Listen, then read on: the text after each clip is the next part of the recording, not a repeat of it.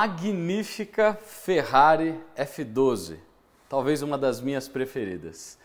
E essa, na verdade, é a segunda parte do serviço que a gente está prestando nesse carro, que a gente vai compartilhar com você aqui nesse vídeo um processo, um passo a passo, uma preparação aqui daquele V12 aspirado maravilhoso lá na frente. Chama F140 o motor e a gente vai compartilhar isso com você em detalhes aqui nesse vídeo. Mas antes de começar o vídeo, se você é novo por aqui, gosta de conteúdos exclusivos, assim como essa Ferrari F12, considere agora se inscrever no canal, se você ainda não é inscrito, ative as notificações e não esquece da curtida. Mais curtidas significam mais vídeos de passo a passo exclusivos como esse.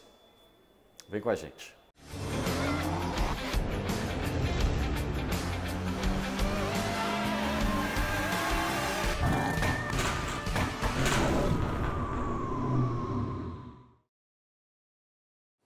Se a gente tivesse mais tempo, esse é um dos carros que merece um daqueles vídeos que a gente apresenta o carro como um todo, falando do design, da aerodinâmica, dos opcionais e das funções que os caras projetaram, porque a F12 para mim é uma das Ferraris mais maravilhosas e talvez a que eu teria. A gente vai focar aqui nesse vídeo só nessa maravilha que está aqui debaixo deste enorme capô. Dá uma olhada. Aqui a gente tem o F140 FC. Dá uma olhada no tamanho dessa criança. O F140 é uma família de motores V12 da Ferrari muito antiga. A gente está agora em 2021, quase em 2022, e há quase 20 anos atrás, em 2002, a Ferrari lança a Ferrari Enzo, que era um hipercarro com um motor desse, dessa família, né, a primeira geração lá no meio do carro e uh, um carro que tinha um desempenho descomunal para a época, né? Foi desenvolvido junto com o Schumacher, enfim. Desde então, esse, esse motor vem evoluindo, mas a base ainda é a mesma. Aqui na F12 a gente está na versão F140FC. Uh, as principais diferenças são o sistema de injeção de direta, né? Esse carro já trabalha com sistema de injeção direta lá no cilindro de 200 bar. Diferente da, da Enzo, que geralmente você tinha um espaço grande para botar um enorme pleno e a entrada dos cilindros se dava mais para vertical, aqui eles não tinham muito espaço. Então eles espremem o motor por ser esse daqui um GT, né? Aqui na dianteira, espremem o motor lá embaixo. Veja que a estrutura do carro está mais ou menos abraçando o, motor aqui por volta. Esse daqui é, é a longarina do carro mesmo. E não tem espaço para o pleno. Então você tem agora esse pleno enorme, né? Que se você calcular aqui a entrada de ar do motor, né? Esses são os filtros aqui de ar. Depois a gente passa pelo MAF, borboleta. E veja o tamanho do pleno, né? O motor, na verdade, ele está aqui mais ou menos, né? Embaixo ali do para-brisa. E ele termina aqui, né? Mas veja o ângulo de entrada no pleno, né? Da, do ar, né? O ar aqui ele entra com facilidade nesses cilindros mas esses outros dois cilindros aqui que estão mais afastados, eles não estão no fluxo de ar. O ar vai ter que fazer uma curva aqui de quase 180 graus, né? E aí, eu acredito que eles fizeram esse prolongamento aqui do pleno, né? Veja que o cabeçote termina aqui, e eles fizeram esse prolongamento, deixou o, motor com um aspecto muito mais largo, né? Para tentar criar uma reserva de ar aqui para alimentar esses cilindros com a mesma quantidade de ar que aqueles caras recebem. Deve ser muito curioso os CFDs aqui que estão acontecendo e fica a dúvida, né? Se quando você põe aquele motor em plena carga, né? É, se essa reserva não termina, enfim. É, coisas que a gente só consegue ver com computadores hoje. Mas muito interessante, né? Você tem esse vermelho fosco típico nas tampas de válvula, né? As testas rossas e agora também aqui no pleno. E ele tem toda essa peça de alumínio fundido aqui, né? Ah, onde você tem o cruzamento das bancadas. Então o ar que está entrando aqui, na verdade, entra nos cilindros desse lado e o ar desse pleno entra para os cilindros desse lado, numa configuração típica de V12 ah, que a gente já está acostumado. Esse cara aqui na F12 produz declarados 730 HP e 69 kgf de torque. E existe uma versão desse carro que chama F12 TDF, ou Tour de que era uma versão aprimorada desse carro. Eles fizeram algumas modificações aqui no sistema de escapamento desse carro, desse motor, né? E nessa versão FG da TDF, o motor produzia 769 HP e 71 kgf de torque. Grava bem esses números, porque daqui a pouco a gente vai começar a falar de números de potência que a gente aferiu esse carro aqui no dinamômetro. E lembrando que esse carro específico, SF12, está com um sistema parcial da Inotec lá no Catback. Bom, a nossa missão aqui é, depois de resolvido naquele primeiro vídeo a transmissão, né? É, eu tava com vazamento, tava jorrando, parecia uma torneira de óleo a transmissão. Uh, a gente mostrou toda a abertura desse, dessa transmissão lá no primeiro vídeo. E agora, nesse segundo vídeo, o que a gente vai fazer é um estudo de preparação e acerto desse cara para gasolina Podium e acerto também para o sistema de escapamento que está instalado aqui. Então vamos começar passando esse carro no dinamômetro, que ele já está aqui amarrado e vamos dar uma olhada nos números de e resultados que a gente tem aqui. Essa maravilha. Olha para isso. Bom, então chegou a hora da verdade. Vamos dar uma olhada para ver como é que esse carro está vindo com Podium, mapa 100% original e o escape já da Inotec instalado, certo? Dinamômetro já está configurado, 4x2 traseiro, Correção que a gente está variando aqui entre 12% e 13% no momento. Isso pode alterar depois. Vamos entrar lá, vamos ligar. E vamos ver o negócio berrar.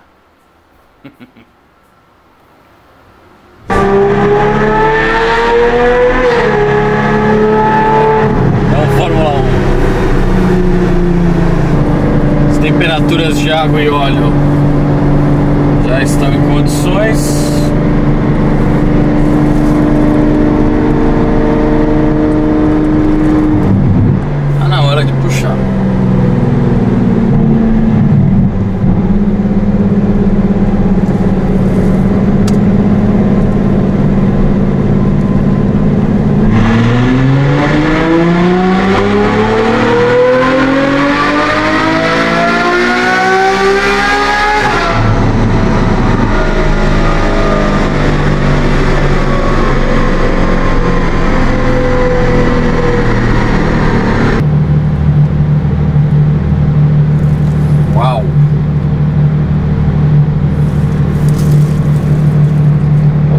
Mais umas vezes aí, para ter uma constância.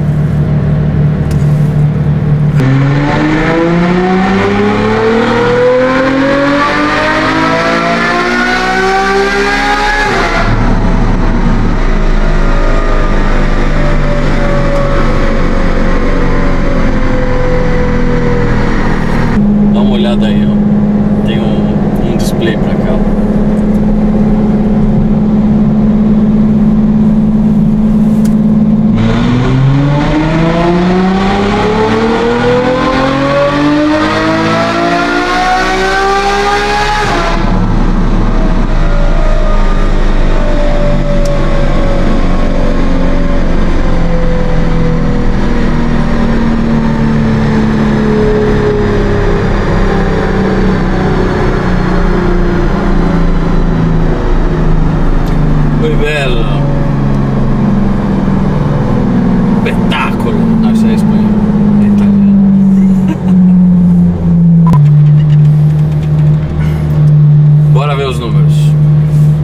Números, vamos falar de números então, porque tem vários números muito legais aqui, né? Primeiro, 12 cilindros. Depois, vocês viram lá no, no, no display, no final deu para ver lá 250 km por hora. Isso não corresponde à velocidade final desse carro, se esse carro é muito potente ou menos potente, tá?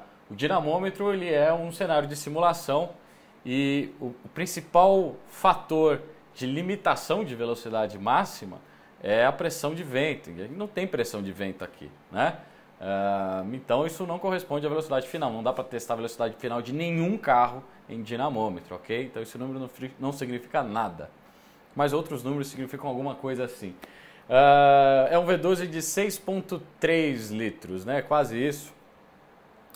E bom, 12 cilindros produzindo isso, então a gente tem outros exemplos aqui que já passaram uh, nesse giramômetro, inclusive. Por exemplo, o M156 da Mercedes, são 8 cilindros produzindo 6,2 litros. Então a gente tem referência de motor grande para isso, mas não gira tudo, não gira as 8.500 rotações que esse motor gira.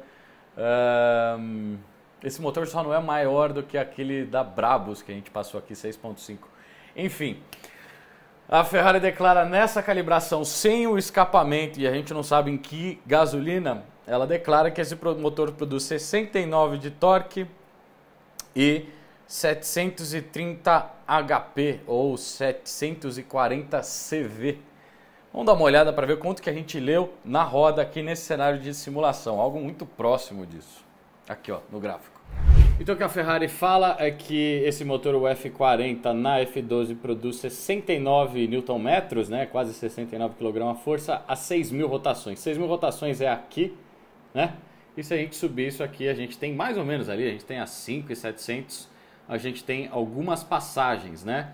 Então nessa última deu 67 nesse ponto, mas nós temos também 68 e a primeira, quando o carro estava bem friozinho, aí até estava bem baixo, 69, né? Uh, o que corresponde a, ao torque declarado pela Ferrari. Ah, lembrando que a gente está com correção aqui, a correção subiu para 14, inclusive. Mas está algo muito próximo do que a Ferrari fala.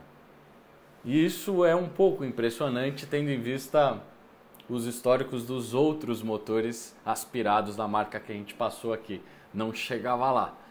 E outra coisa que chamou a atenção é a potência. A gente tem as passagens, os picos de potência aqui a 7.700 rotações mais ou menos. 630 de roda, 630 de roda, 626 de roda. É algo muito próximo dos 730 cavalos. Vocês não fazem noção de quão impressionante é um motor de 6.3 litros produzir esses valores. É algo fora da curva, extremamente extraordinário. Mais uma coisa que agora a gente vai partir para a parte de exploração da calibração desse motor. Vamos ver se a gente consegue extrair alguma coisa pelo fato do escapamento estar tá instalado. Vamos ver se a gente consegue também extrair alguma coisa em ponto e combustível. Por fim, vamos falar dos dados de funcionamento do motor, algumas coisas que chamam atenção um, o carro aqui a gente conseguiu simular por volta de 92% de load, mas eu já estou de quinta marcha. Uh, isso significa que pode ter algum limitador ali na central. Load geralmente, essa parte de carga pode ser uma limitação e isso a gente vai estudar no remap. Outras coisas que chamam a atenção, o combustível não é um combustível extremamente rico, que nem a gente vê na MG, por exemplo, no M156, está trabalhando com 0,80 de lambda original e o ponto, o ponto é baixo. O carro a 8 mil rotações está trabalhando com 31 de avanço. É muito pouco. E significa que existem margens para a gente explorar aí, resumidamente falando, nesses três fatores. O que eu vou começar agora é fazendo uma exploração só nessa parte de carga, de eficiência volumétrica, tentando ver se a gente consegue extrair algo a mais pelo fato do escapamento estar sendo instalado e a central não estar enxergando esse escapamento. E depois a gente vai trabalhar lá em combustível e ponto também. Vamos começar então com a primeira versão, ou a versão A da primeira versão. Eu vou tentar algumas coisas aqui, vamos ver como é que o carro responde conforme a gente vai subindo os mapas.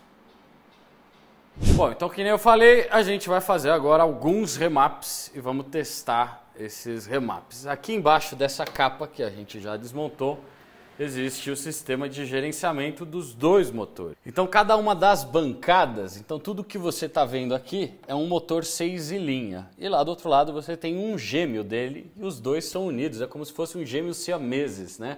Unidos pelo mesmo virabrequim, mais duas cabeças é, diferentes e pensantes. As cabeças e os cérebros são esses caras aqui. Na verdade já tem um desmontado, mas você vê, para essa bancada vem o chicote inteiro que comunica com todos os atuadores, os bicos, as bobinas, os sensores de, de fluxo, pressão, borboleta, enfim, as sondas. E do outro lado a gente tem a mesma coisa, né? Tem uma outra central aqui, essa central agora a gente está subindo a primeira alteração, a primeira versão. A gente aqui na Vanguard trabalha por versões e a gente vem dando incrementos graduais e vendo como é que o carro vem respondendo. Né? Uh, esse daqui é um módulo Bosch, né? uma central MED 9, uma central que a gente já mostra há muito tempo aqui no canal. E o sistema de ignição e detonação ele é monitorado por esses dois módulos. A gente já falou, acho que deles lá na 458, que chama módulo Ion. Então, depois que acontece a queima lá dentro do cilindro, esses módulos começam a, monitorar uma resistência elétrica e a questão de ionização proveniente da combustão lá dentro do cilindro para ver se a queima aconteceu de uma maneira controlada ou se ela foi incompleta, o quanto ela durou e ou se houve uma detonação durante aquela, aquele ciclo de combustão. E cada bancada também tem o seu módulo Ion. Isso daqui, na verdade, se eu não me engano, foi inventado na Saab. A Saab foi lá em finais dos, da década de 80, lançou esse sistema de monitoramento de detonação por ionização. O mais clássico que a gente tem em outros motores é a gente ter esse sistema monitorado por microfones. Então são, uh, são sensores, são cristais de quartzo, que são basicamente microfones, e aí uh, a central fica escutando né, a queima lá dentro do cilindro para tentar ver se essa queima foi ou não irregular. Aqui é um módulo muito mais preciso, mas também é um módulo que costuma dar problema na 458 e aqui também. Bom, vamos subir uh, agora os remaps, né, a primeira versão, nas duas centrais e vamos passar o carro de novo, vamos fazer mais três aferições, vamos ver se com essa primeira alteração, nessa questão de gestão de carga, eficiência de volumétrica, preenchimento do motor, a gente já consegue extrair alguma coisa, tendo em vista que o carro já tem um escapamento instalado e já tem um fluxo mais otimizado do que o original. Vamos começar por aí.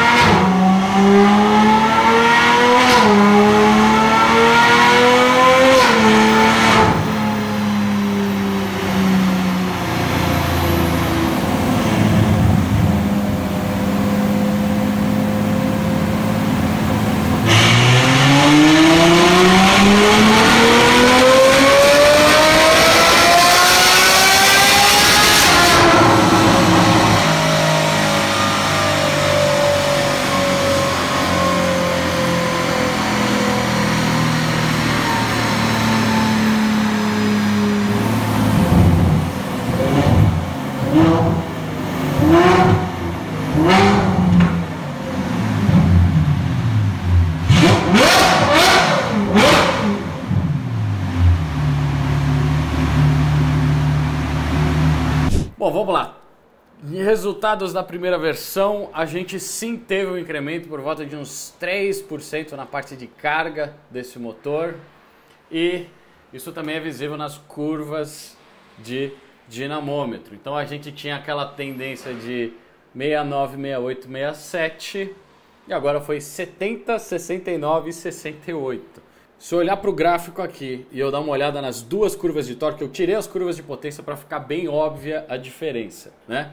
O carro chegou a ganhar ali 2 kg a força, 3 kg a força aqui, aqui também mais 3,5 kg a força nessas áreas, basicamente fazendo o motor enxergar uh, esse fluxo mais livre do que o original na parte de exaustão é pouca coisa. É, a gente não, não, tem um motor turbo aqui, né?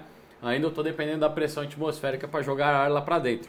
Mas a gente percebe se a gente falar para a central, para ela procurar esse, essa quantidade de ar extra, ela aparece se a gente mostrar o caminho para a central para procurar ela, certo? O que eu vou fazer aqui, é, tendo em vista que esse resultado foi ok, foi legal, eu vou fazer mais um teste ainda nesse tipo. A gente vai chamar agora essa aqui de segunda versão de de alteração. Vamos ver como é que as duas se comportam. V1 versus V2. Aqui na V2 eu tenho uma alteração um pouquinho mais um, abrangente. A gente está trabalhando mais no, no, na área inteira do motor, né, em todas as faixas de carga, com um incremento um pouquinho maior. Vamos ver se isso gera algum resultado ou não. Eu acho que não, mas vale a pena a gente tentar. Bora de novo para o dinamômetro com a V2 agora aqui dentro da Bosch.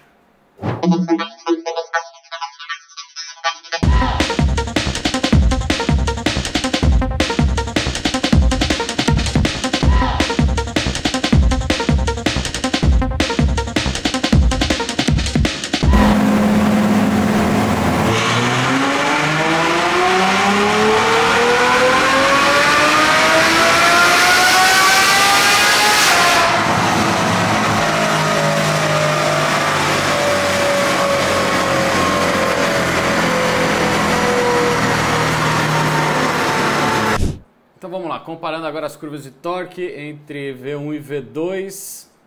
Que nem a gente estava esperando, pouca diferença, né? Foi de 70,7 lá daquela V1, na verdade, para ser um pouquinho mais exato, para 71, então não teve nenhuma diferença aqui no pico de torque. Já lá em alta, quando a gente abriu aquela linha lá na, nas tabelas de torque do motor, a gente teve um pequeno incremento, o carro começou a descolar, achou um pouquinho mais ali, até um, um quilograma e meio mais ou menos. Depois ele deu uma quedinha apenas nessa passagem, nas outras de 69 e 68 não teve essa queda. E nessa área aqui ele ganhou um pouquinho mais em alta lá.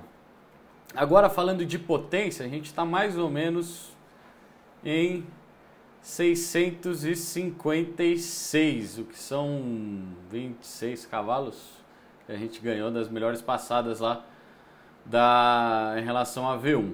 Tá, isso aqui é trabalhando só numa área da gestão do motor, nessa parte de carga, de cuidando da parte do ar. O motor ainda tem combustível e ignição.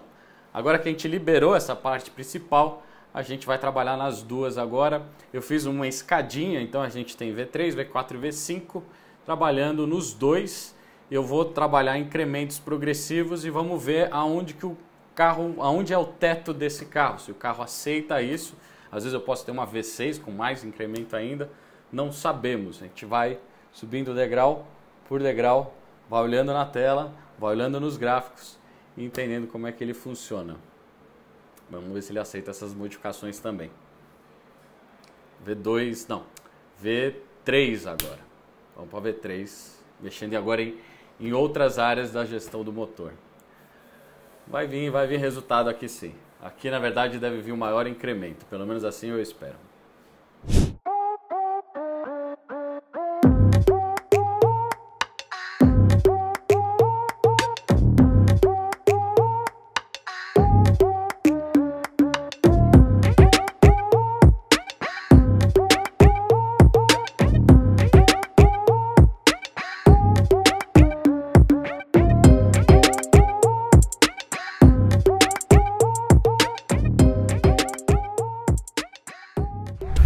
Dia seguinte a todos os testes que a gente fez aqui na F12, ficamos até a noite ali passando, testando, chegamos até a V6 e agora está na hora de falar os resultados e das conclusões aí que a gente teve depois de passar esse carro e sentir como é que ele se comportava e respondia às alterações. Vamos lá falar delas então.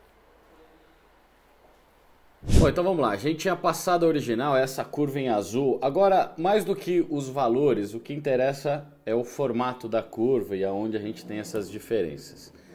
Em azul, claro, a gente tem aquela passada original, cujo pico foi esse aqui, 69 de torque lá, mais ou menos 5,700. E em verde agora eu tenho a primeira versão onde a gente estava mexendo na parte uh, do ajuste da, do ponto de ignição e um pouquinho de combustível também, mas um ajuste muito sutil.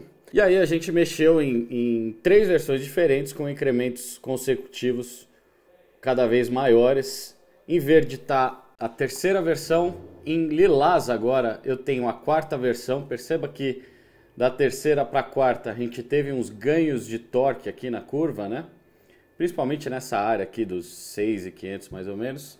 Depois eu tenho uma quinta versão que vai entrar agora em cinza. Perceba a diferença que a gente tem, lembrando, original, terceira, quarta, quinta e depois uma sexta versão, onde a gente experimenta depois uma, um, uma outra estratégia para mistura de combustível. E aí, peraí que agora não ficou muito claro, a gente começou a ter uma queda. Então, na sexta versão, que é essa em vermelha, é, a gente começou já a bater no teto do, do, do, carro. Em outras palavras, na V5 a gente já tinha atingido o MBT, ou o, max, o Maximum Better Torque, ou torque máximo ideal, né? E o carro parou de responder a essas alterações. Significa que esse é o pico de torque que a gente consegue atingir com esse cenário aqui no uh, F140, né? Nesse motor ele não vai responder para mais para isso. Então isso aqui é mais ou menos o teto que a gente ganhou. No final, o quanto foi esse incremento, né? A gente saiu de 69 de torque e a gente atingiu os picos falando apenas a gente atingiu 72,3. Só que o ganho máximo de torque que a gente teve foi em áreas maiores aqui, que correspondeu a 6 kg. Então a gente saiu de 63 e foi para 69. Dá uma olhada aqui, ó nessa área aqui de 6,5. Carro motor aspirado ganhou 6 kg de torque só com programação. E isso é bastante. Tem carro que a gente reprograma aqui, carro turbo, que a gente injeta mais ar dentro com a, com a turbina e a gente ganha, a gente sequer ganha isso na verdade. Em resumo de novo, se a gente analisar agora o gráfico, dá uma olhada aqui, a gente tem um ganho de torque na curva inteira. A tendência de ganho de torque maior são nas áreas aqui de 4,5 até 7.000 rotações, mas o carro sustenta os ganhos ali até o final. Falando agora de potência, o quanto que isso corresponde, eu vou jogar agora a potência na tela. A gente saiu lá dos 630 aqui, mais ou menos a 7,700 e agora a gente chegou a 660, foram 30 cavalos de, da diferença desse pico para esse pico, que são os, os pontos mais altos da curva azul e da curva cinza, só que o maior ganho de potência também está junto do, da área de maior ganho de torque, né? que a gente saiu de 560 e chegou para 613, o que dá mais ou menos 53 cavalos. 53 cavalos só programando. Nada mal. Bom, no final também, aproveitando, a gente não podia de deixar de experimentar aqueles efeitos pirotécnicos que, que geralmente a gente faz em outros carros aqui do canal. Mas geralmente esses carros que a gente explora esse efeito pirotécnico, estão com uma solução de escapamento diferente do que foi instalado nesse carro. Esse carro tem um escapamento parcial da Inotec e ali a parte de fluxo não é ideal, se comparado com os outros escapamentos que a gente costuma divulgar aqui no canal. E aí, nesse caso, a gente chegou a tentar fazer esse estudo né, de fio cutoff, de deixar ele durante mais tempo e dar uma enriquecida na mistura. E os resultados você confere agora com aceleração desde a primeira marcha. Dá uma olhada aí.